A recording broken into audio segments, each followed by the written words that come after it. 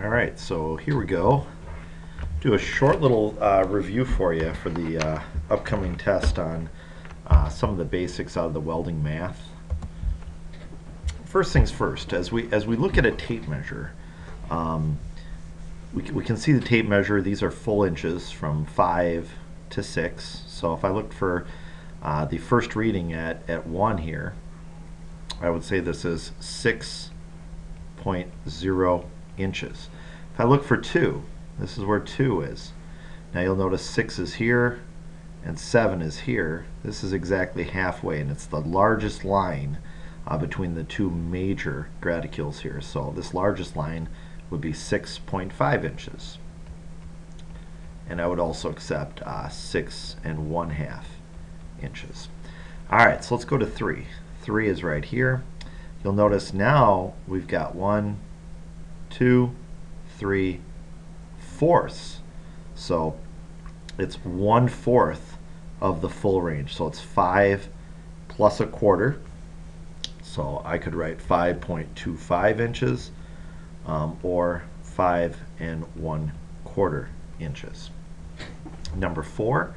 Number four here now, we've got to see what this little line is here. How many of these little lines are there? Well, there's there's one, two, every two of them count.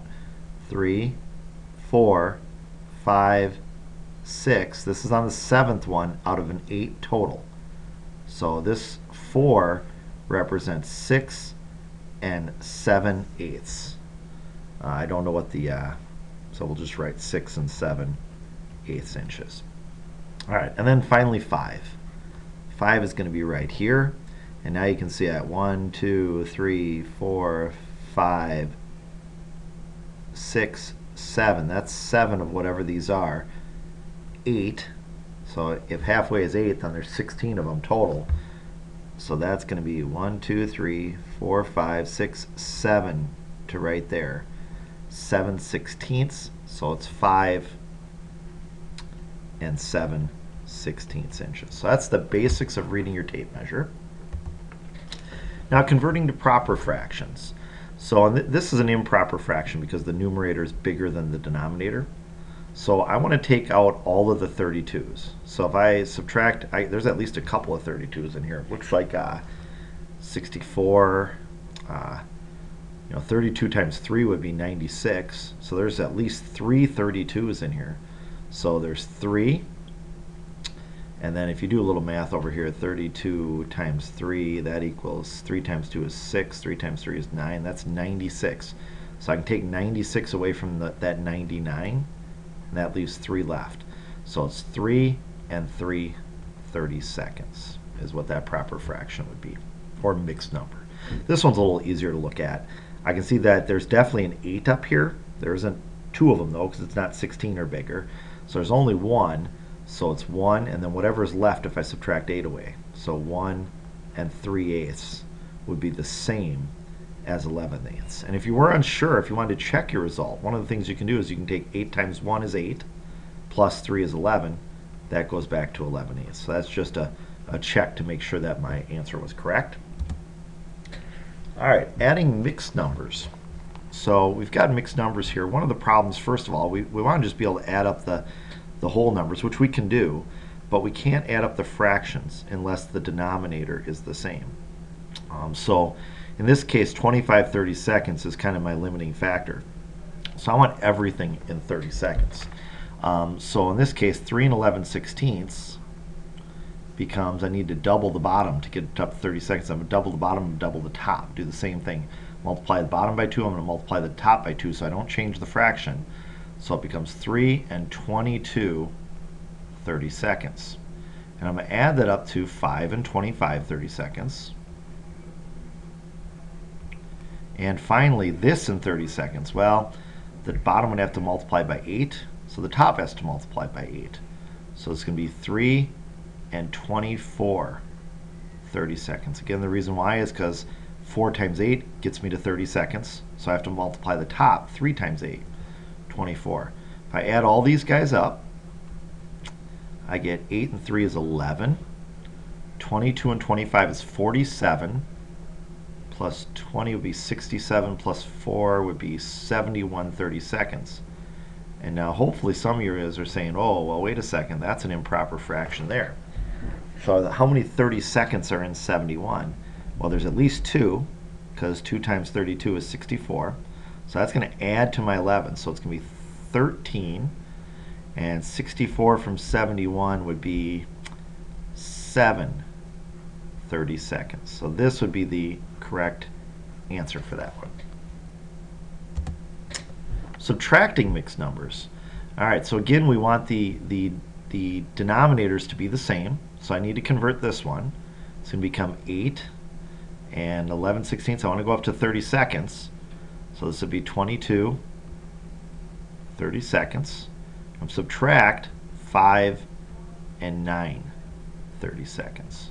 It's going to give me 3 and 9 plus 13. 3 and 13 30 seconds would be my answer there. Not too bad. This one's not quite as trivial. I need to get sixteenths on both of them. Um, so 5 and 3 sixteenths is fine. However, I want to subtract 2 and 3 quarters. Well, I need 3 quarters to be expressed in sixteenths. So 4 times 4 would be 16. 3 times 4 would be 12. So 2 and 12 sixteenths. Now we still have a problem here because if I subtract 12 from 3, I get a negative number. So I need this number to get bigger, okay? Um, bigger than the, the numerator on the bottom here. So I can borrow one from this 5. That makes that a 4. And then I can add 16 sixteenths to this one, which is going to equal, which is going to equal 4 and 19 sixteenths minus 2 and 12 sixteenths.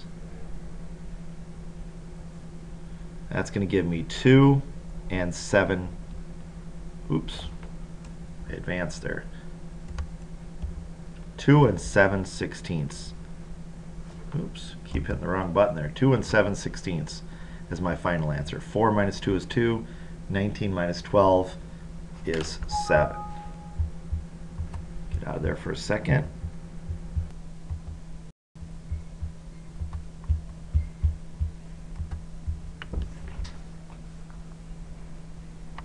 All right, on to the next one here. Adding decimals. Um, so when you when you add decimals, the, the key to adding decimals is really keeping your decimal points lined up. So 6.725 plus 3.400 plus 1.520. Key is just keeping everything lined up. And then the 5 plus 0 plus 0 is 5. 2 plus 2 is 4. 7 plus 4 is 11 plus 5 is 16. 16, I carry that 1 over. Uh, 1 plus 6 is 7, plus 3 is 10, plus 1 is 11. 11.645 for that particular problem right there. Converting to a decimal. Um, so on this one, we've got 1 and some decimal portion. Um, so the way you do that is you take 16 and you divide it into 9. Um, so let's see, doesn't go into 9, so it's 0 point something. In this case, we'll have a 1, but the decimal portion then 16 times, oh, what's 16 times 5? Let's just see that. Uh, 6 times 5 is 30. 3, that's 80. I was right, so that's 3. So then 80 comes down. So now how many times does it go into 100? Well, if I did one more, we'd have 96. So uh, 3.4, so 96. And I'm going to go, uh, this will be 9, 10, 4. So now 16 into 40, it goes 2 would be 32. Uh, 3, 10 minus 2 is 8 go back into 80 and it's 5. So my answer here, this is just the decimal portion. This is just the 9 16ths part. So it's 1.3425 because I also need the whole number part. So that's your answer right there. 1.3425. Converting to a fraction. If I want to convert this into some value in sixteenths, um, then what I need to do is I need to, I, again, I'm going to have 1 and some sixteenths. I take 0.5, 625. I'm going to multiply that by 16. Uh, 6 times 5 is 30. 6 times 2 is 12, 15. 6 times 6 is 36, plus 1 is 7, 37, 3. 6 times 5 is 30, plus 3 is 33. Uh, 5 times 1 is 5, goes right there. 2, uh, 6, and 5. So I get 0, 0, carry the 1. This becomes a 0, carry the 1. 0, carry the 1. It's 9 with four decimal places, 9.000. So this number, this number, this part here is 9 sixteenths. So it's 1 and 9 sixteenths is my answer. Converting units.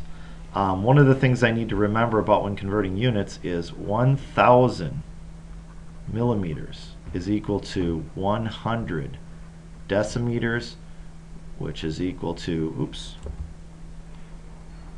which is equal to uh, 10 centimeters. Oh, I screwed this one up here actually. Screwed that one up. Let me fix that real quick here. Eraser.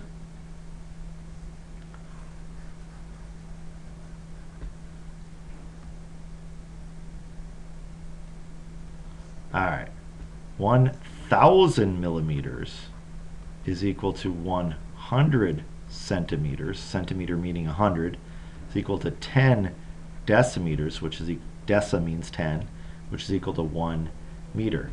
So 500 millimeters would be equal, if 1,000 millimeters is 100 centimeters, then half of 1,000 millimeters would be half of 100 centimeters, would be 50 centimeters, um, which 50 centimeters then would be equal to 5 decimeters, which would be equal to 0.5 meters.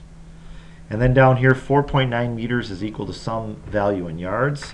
Well, if I know there's 1.1 yards in a meter, I can take my 4.9 meters, multiply it by 1.1 yards, 94094.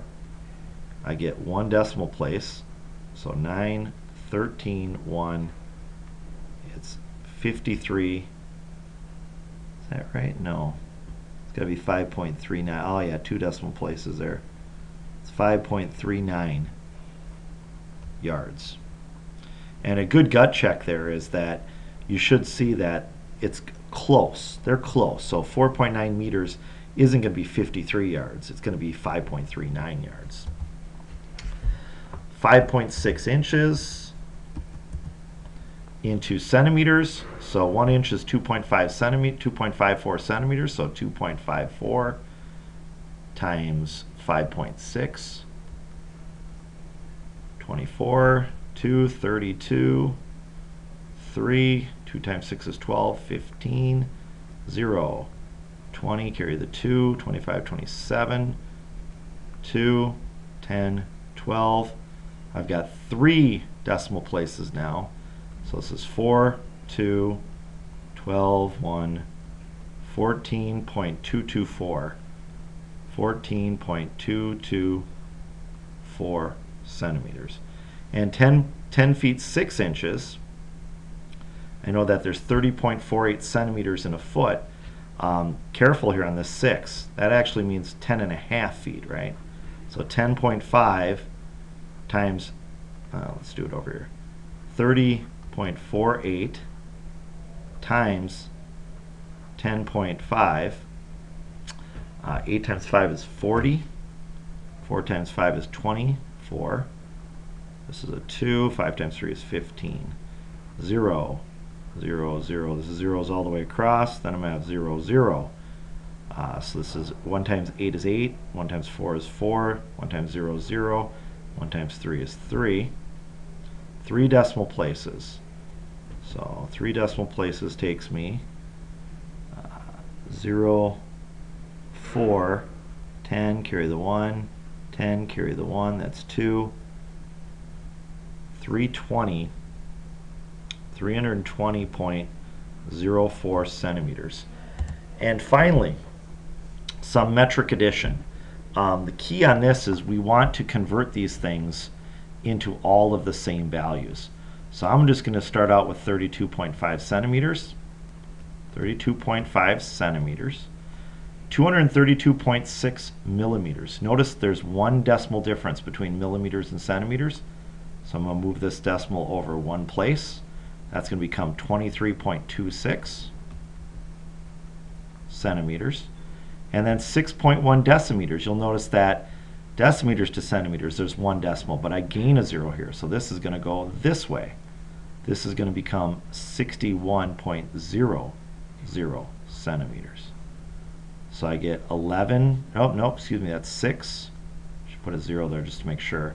5 and 2 is 7, and 6, and 5 and 6 is 11. So that's 116.76 centimeters. And hopefully that helps you out on preparation for both the test and uh, the homework that you're working on for this week.